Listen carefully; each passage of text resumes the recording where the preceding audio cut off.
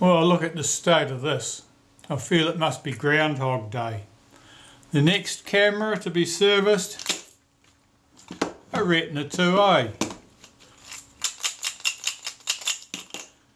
And a shaky container of bits. I don't know. I like seems sometimes it seems like you're living the same day over and over. So what do we know about this one?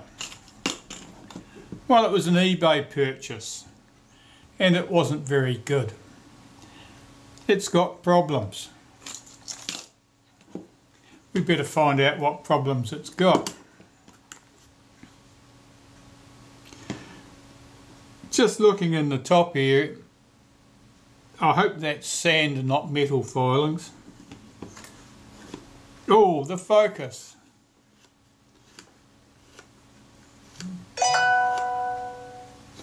The focus only moves to about five feet. That won't go around all the way and it doesn't feel nice either.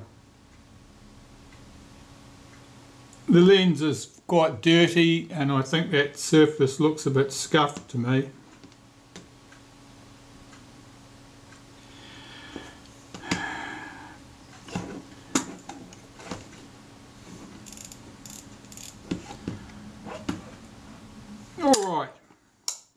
we need to discover what's going on at the top of the camera. I presume that the owners had the, the top off. Yeah, the rewind's loose. I want to discover if we put the film advance lever back on here I should be able to find out exactly what works and what doesn't work because at the moment that's a bit of a mystery. The focus is obviously a problem. Difficult to say what's causing that at the moment but it might be a screw backed out that's um, blocking the action of the uh, focus scale ring. Top cover off, nothing obvious to see there. Now the cocking rack's in place, so that suggests to me that if we put the advanced lever back in the correct position, we can make this thing wind again. So whereabouts is this in the cocking action? Let's see, I think it's probably about there.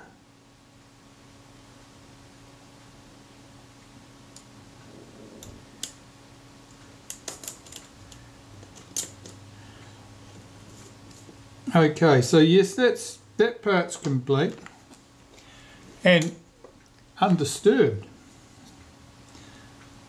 Let's put this back together.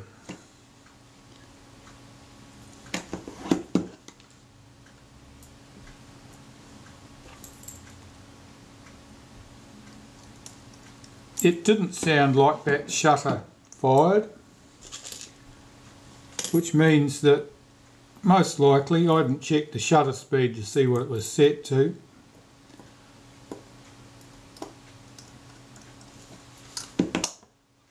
But we can certainly do that.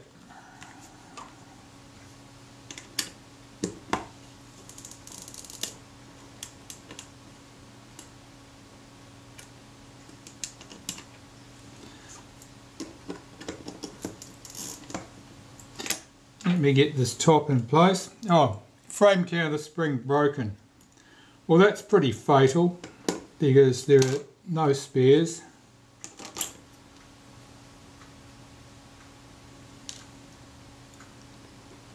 Oh, there's the tip of the frame counter spring sitting loose in there.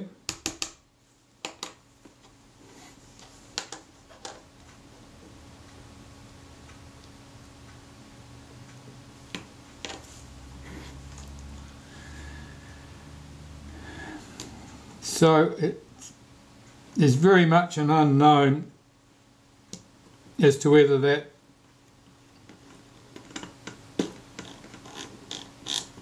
frame counter spring was broken when the camera was purchased, whether it was broken in the uh, playing around with the film advance. That thread doesn't run down nicely.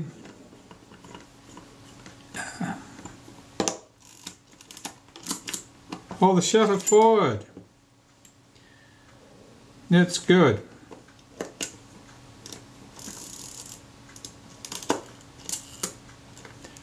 So the shutter works. Film Advance is inclined to jam.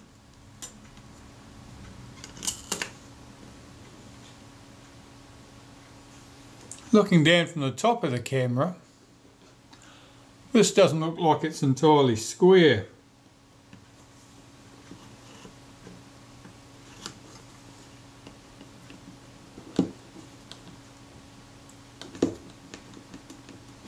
And the shutter seems to move on that front standard quite a lot which suggesting that the focus mount is loose on the front standard.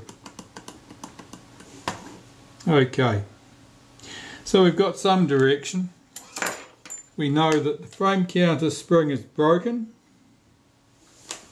And that's going to be a problem. We can tell that the the shutter appears to fire the camera appears to cock.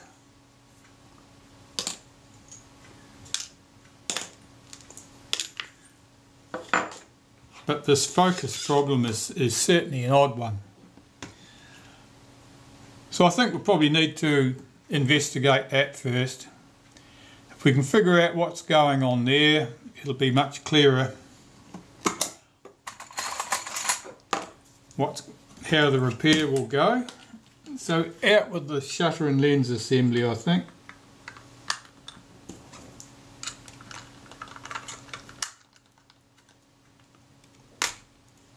That is tight.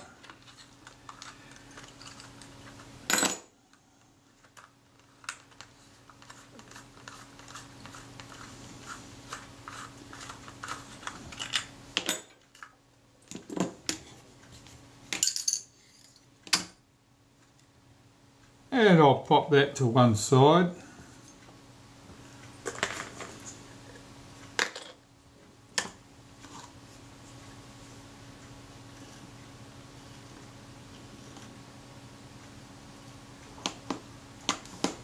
Now I'm looking for something obvious here.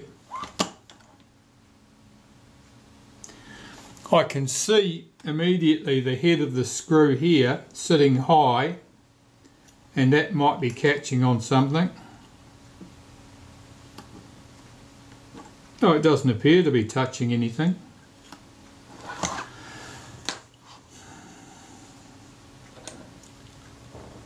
I'll tighten it up, that'll just rule out that as a possibility. That's one of the screws that holds the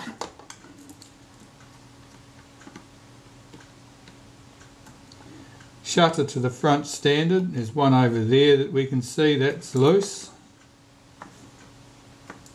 There's one there that we can see that's also loose. And there's one in this corner that's also loose. We'll see if the focus, well look at that. So there was our focus problem. Loose screws, the screws that hold the focus mount to the front standard. Okay, well that's that little mystery out of the way. What's it leave us with? Well, the film advance tended to stick. Um, that screw didn't really go down nicely. It may be that that's just a bit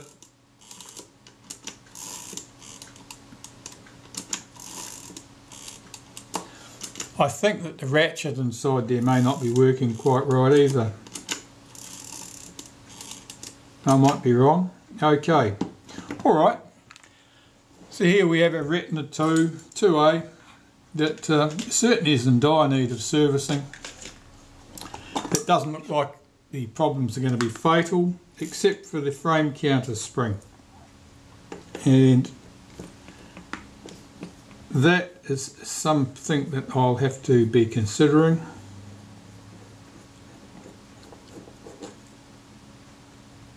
There's a lot of brass filings in there from that screw thread. Suggests there's been a problem there. Perhaps someone cross-threaded it at some stage, though it did tighten down okay now. But not a good sign.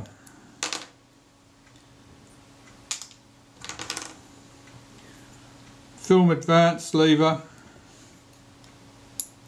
The latch, end of film latch is there and working correctly. That's always a good sign. Let's take this lot apart.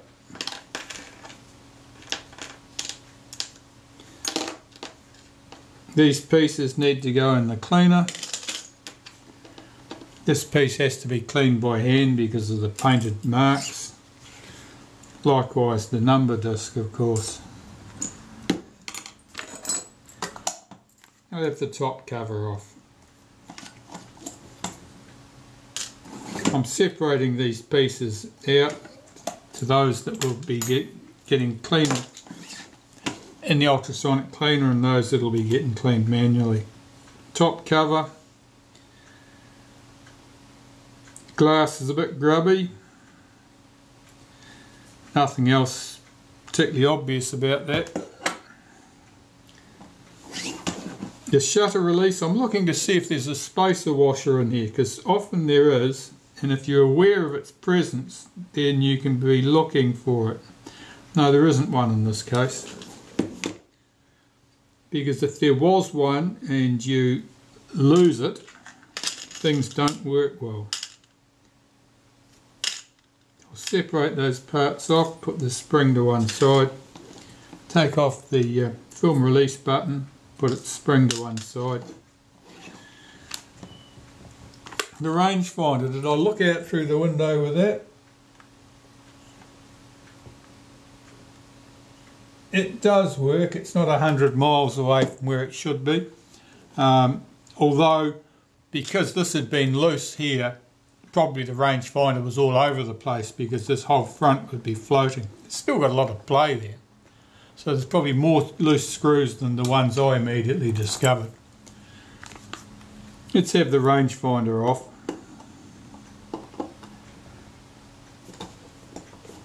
The rangefinder is a bit hazy, but um, not ridiculously so.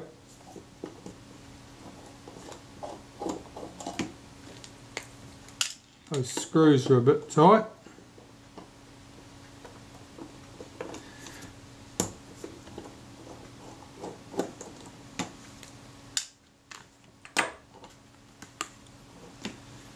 rangefinder itself, very sticky. You see how slow it is at oozing back into position. That coming back to the infinity position, it's pretty sluggish. So that's just gummy with dried out grease. Means that hasn't been serviced in a long time. The rewind might just as well come off. The screw's loose there. there too. Okay, so there's a bit of a pattern here of loose screws.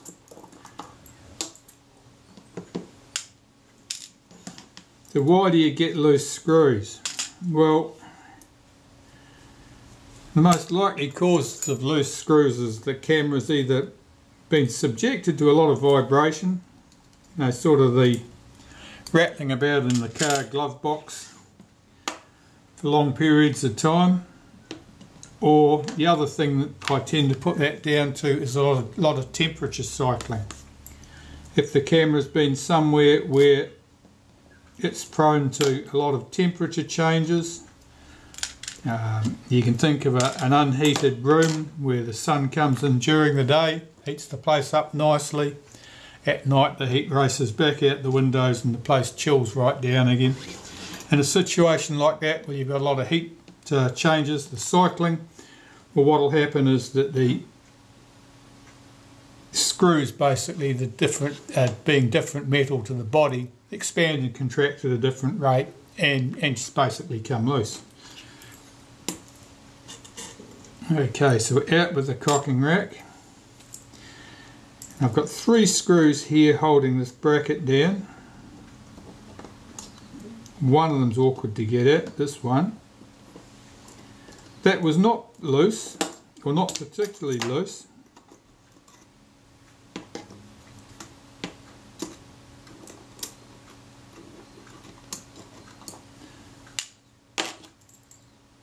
One at the end here. That looks a bit suspicious, that screw. I think that's a foreigner. It is. That doesn't belong there. I know what that job, what job that screw would do, but it's not that one. And we'll lift this spring off the post here, and that screw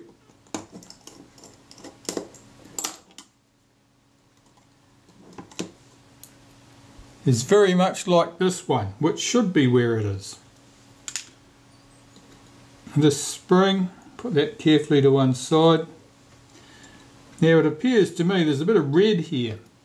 I think someone's locked a screw in there with a touch of lacquer or something by the looks of that. Take out that and there should be a spring in the body to get out. There's I'm sorry the camera had stopped recording. I don't know at what stage we lost that. I think I got to the end of, the end of a file size limit. Sorry about that just taking out the three screws that held the top of the uh, the top bush for the film advance and here's the clutch take that apart that's the top of the camera dealt to now the bottom of the camera two screws hold the surround here around the tripod socket. Got to be careful with those, they're chrome brass, very easily damaged. Let's get this surround off. Sometimes these are sticky. If they're very hard to move, usually it means that someone's forced a tripod screw in here that was badly formed, a bit conical, and it stretches out the top and as it stretches out the top it locks that collar in place. Okay, so I'm going to have to peel this leather back now. Before I do that I'll show you a trick because there may be times when you don't want to remove the leather from the bottom of the camera. If for example you wanted the door off for some other reason to get in here or just to deal with the door you can take the door off without removing the screw from the base. And that's done by removing the top hinge pin screw.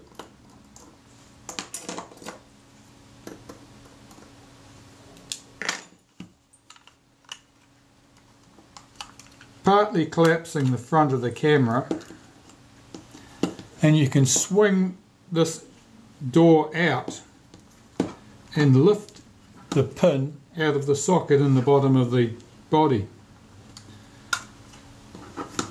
So that's a way of getting the door off without having to remove the leather from the base of the camera. Very rarely would that be a useful thing to do. But if something unfortunate has happened when you've been reassembling the camera, like the film, of the shutter release shaft had uh, come out and the washer had, that had been present in here had fallen into the, the bellows. Removing the door will give you access to that to fish it out without having to dismantle everything else. Otherwise it can be very hard to get that washer back because if it's greasy it'll stick to things where you don't want it to stick and um, just cause you problems. Right, well I'll recover that screw from that that door while I'm here. So I've got them all in one place and I'm not searching the bench looking for a screw that's not missing. That's quite stiff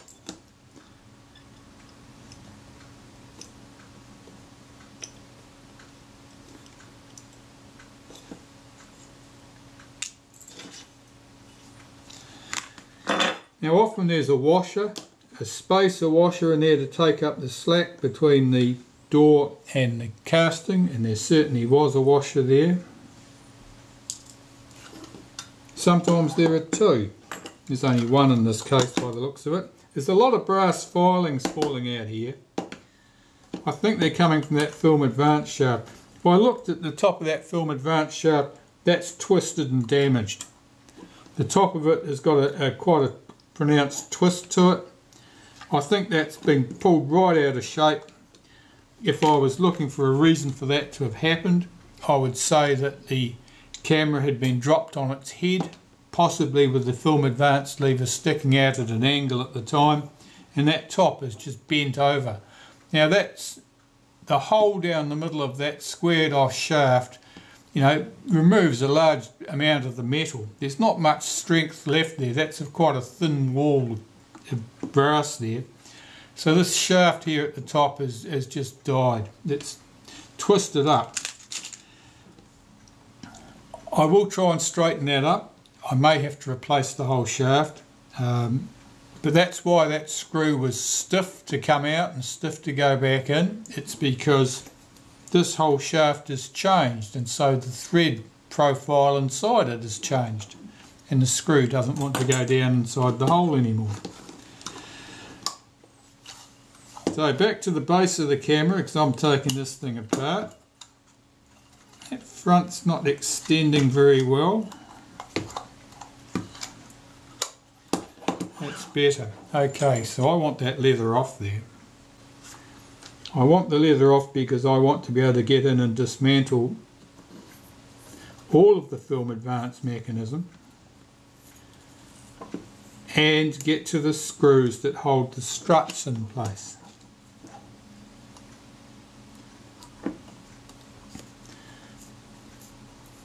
Because the camera obviously had problems with loose screws, it's important that all the screws in the camera get attended to because where they're loose in one spot they're just as likely to be loose somewhere else. And if I don't go through and sort that out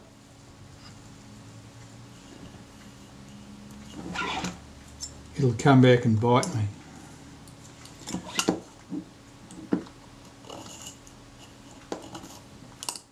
This leather is stuck very well. The, uh, the glue is stuck very well to the body. The leather here is uh, delaminating, I think you could say. Basically, the surface of the leather is coming away.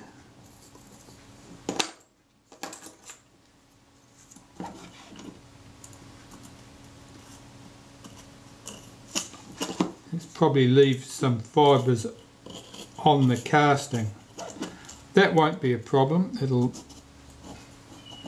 should go okay.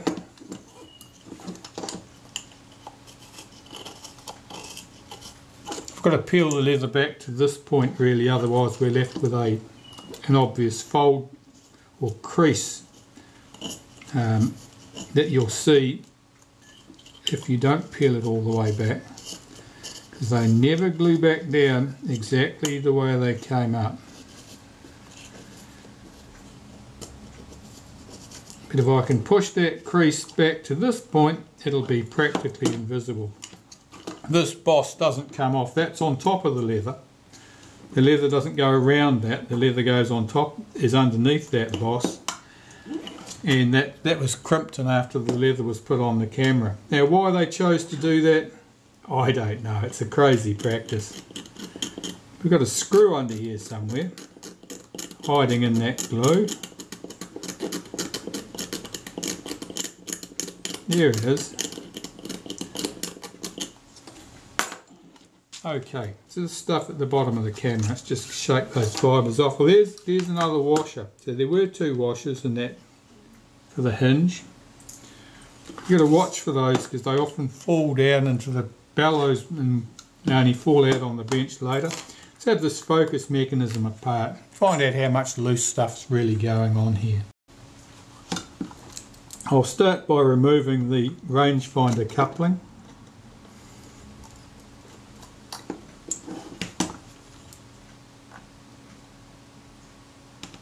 Yeah, these screws are loose. That one's not.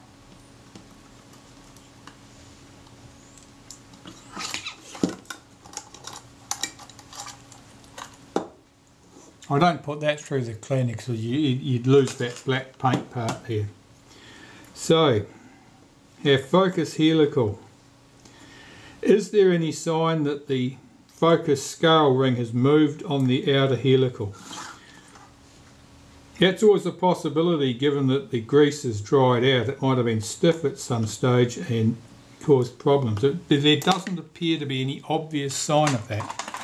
So I'm going to scribe my marks across there so I can put it back in exactly the right place. And I usually put two lines across at the base and here I'm marking the out the focus scale ring and the outer helical. And the same at the top except I put a single line there.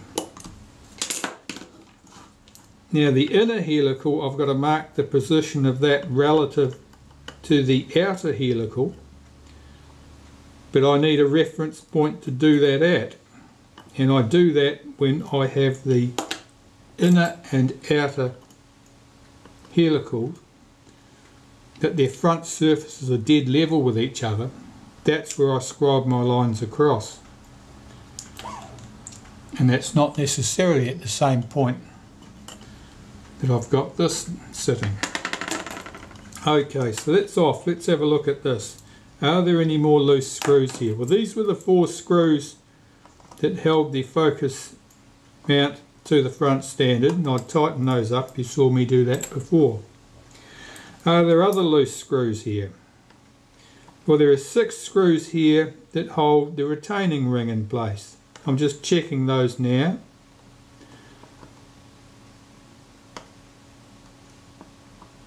None of those are loose. There are four screws, the black ones, that hold the bellows to the back of the front standard. None of those are loose. That's good, so I'll, remove those screws now. That tells us that the movement we had was due to the four screws that I tightened down before I took this apart and any play that's in the focus helical because it's quite dry.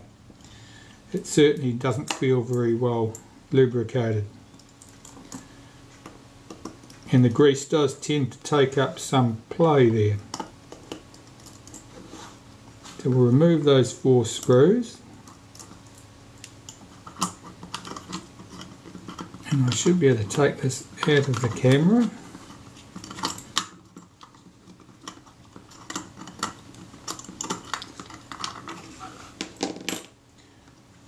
Recover the four screws from the front standard here.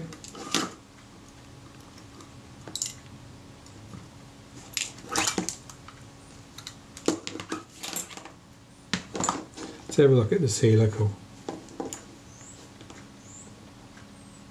See that's quite loose feeling. Anyway, we want those screws out, want this thing apart.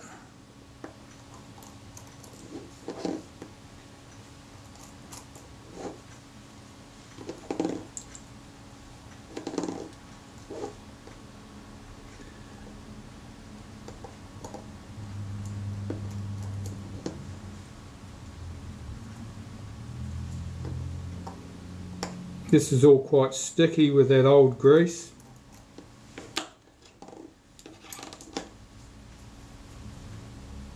Old grease sort of does a changes in its characteristics from being a slippery lubricant to being a gummy adhesive.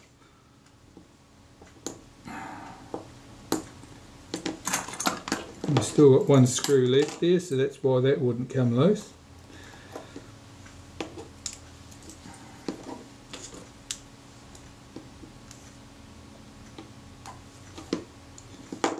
It still won't come loose, it's glued down with grease. That's better. that's very sticky.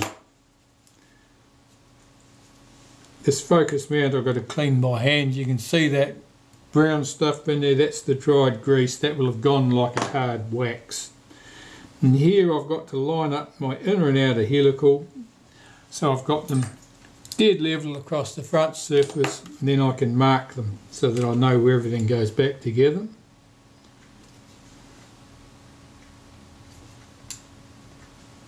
Just putting a straight edge over there.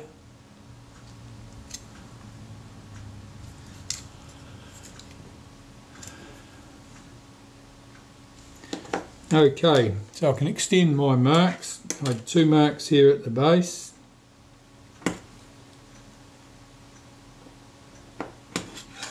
I had one at the top.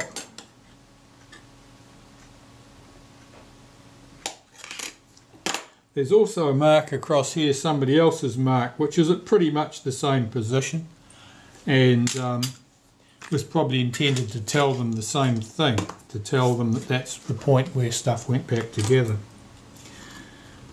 This cover I need off the front here.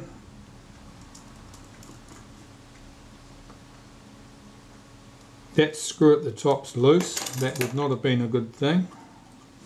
If that uh, rattles about too much, the point at which the shutter cocks can differ slightly and if that inevitably means that the shutter might not cock, particularly if you've got it set to the 500th of a second speed, which requires more force. And so everything gets stressed. And if things are not being held firmly, then it doesn't move far enough to cock it. Okay, that's pretty good. Right at the base of the camera here, I want all this film advanced stuff out here.